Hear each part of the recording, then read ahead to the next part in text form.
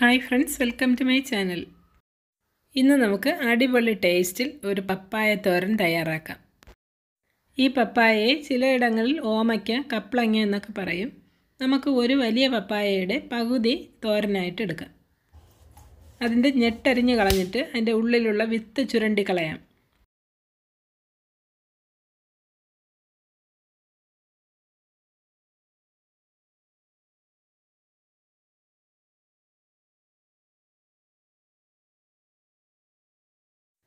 എന്നിട്ട് അതിന്റെ തോലിനെ ഈ കാണുന്ന പോലുള്ളത് വെച്ചിട്ടോ അല്ലെങ്കിൽ ഒരു കത്തി കൊണ്ടോ നന്നായിട്ട് ചീകിക്കളയാം ആ തോലിന്റെ പച്ച നിറം അല്പം പോലും ഉണ്ടാവാൻ പാടില്ല. ഇതിൽ നിറയെ കറയുണ്ട്. ഇനി ഒരു പാത്രത്തിൽ കുറച്ച് വെള്ളം എടുത്തിട്ട് രണ്ട് മൂന്ന് കഷ്ണമായിട്ട് ഇതിനെ മുറിച്ചിടാം. ഇത് തീരെ കുഞ്ഞു കഷ്ണങ്ങളാക്കരുത്. ഇതിന്റെ കറ നല്ലതാണ്. എന്നാൽ ഗർഭിണികൾ അധികം കഴിക്കാതിരിക്കുന്നതാണ് നല്ലത്. ബാക്കിയുള്ളവർക്കൊക്കെ ഇത് കഴിക്കാം. മഞ്ഞപ്പിത്തമുള്ളവർക്ക് പച്ചപ്പപ്പായ തോരൻ വെച്ച് കഴിക്കുന്നത് മഞ്ഞപ്പിത്തം മാറി കിട്ടാൻ സഹായിക്കും. ഞാനിവിടെ അഞ്ച് കഷ്ണങ്ങളായിട്ടാണ് മുറിച്ചെടുത്തിട്ടുള്ളത്. ഈ കാണുന്ന പോലെ ചെറിയ കണ്ണി ഉള്ളതിലൂടെ നമുക്കൊന്ന് ഗ്രേറ്റ് ചെയ്തെടുക്കാം. നല്ല കുഞ്ഞായിട്ട് കിട്ടിയാലേ നല്ല ടേസ്റ്റ് ഉണ്ടാവൂ.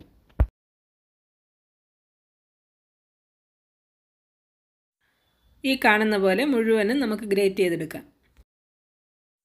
ഒരു ചെറിയ സവാളയും രണ്ട് പച്ചമുളകും ഇതിലേക്ക് അരിഞ്ഞിട്ട് കൊടുക്കാം.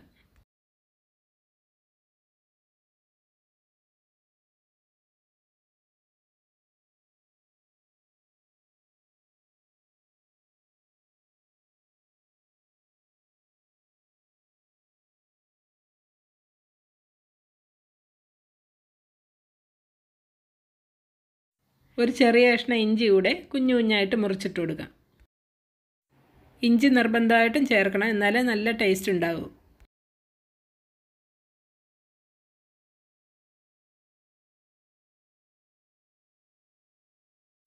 ഇനി ഫ്ലെയിം ഓൺ ചെയ്ത ശേഷം ഒരു പാനോ ചീനച്ചട്ടിയോ അടുപ്പിൽ വെച്ച് കൊടുക്കാം. ഒരു ടേബിൾ സ്പൂൺ വെളിച്ചെണ്ണ ഒഴിച്ചു കൊടുക്കാം. കുറച്ച് കടുക് ഇട്ട് കൊടുക്കാം.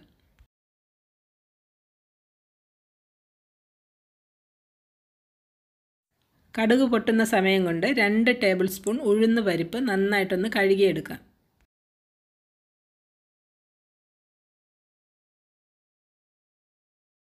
കടുകെല്ലാം പൊട്ടിയിട്ടുണ്ട്. ഇനി ഉഴുന്ന് പരിപ്പ് കൂടെ അതിലേക്ക് ഇട്ട് കൊടുക്കാം. ബ്രൗൺ നിറമായി തുടങ്ങുന്നത് വരെ ഇളക്കി കൊടുക്കാം. കരിഞ്ഞു പോകരുത്. ഈ കാണുന്ന പോലെ മതി. ഇനി നമുക്ക് മീഡിയം ഫ്ലെയിമിലാക്കിയിട്ട് നമ്മൾ അരിഞ്ഞു വച്ചിരിക്കുന്ന പപ്പായ അതിലേക്ക് ഇട്ട് കൊടുക്കാം.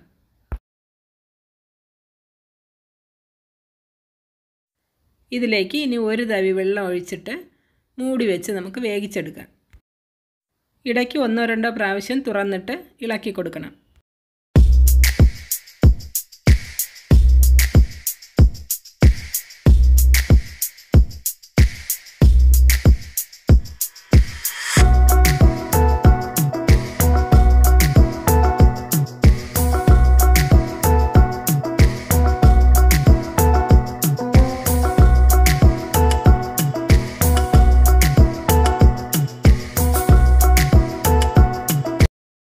മിക്സിയുടെ ജാറിലേക്ക് നാലോ അഞ്ചോ അല്ലി വെളുത്തുള്ളിയും ഒരു മുറി തേങ്ങ ചിരകിയത് ഇട്ട് കൊടുക്കാം കാൽ ടീസ്പൂൺ മഞ്ഞൾപ്പൊടി ചേർത്ത് കൊടുക്കാം.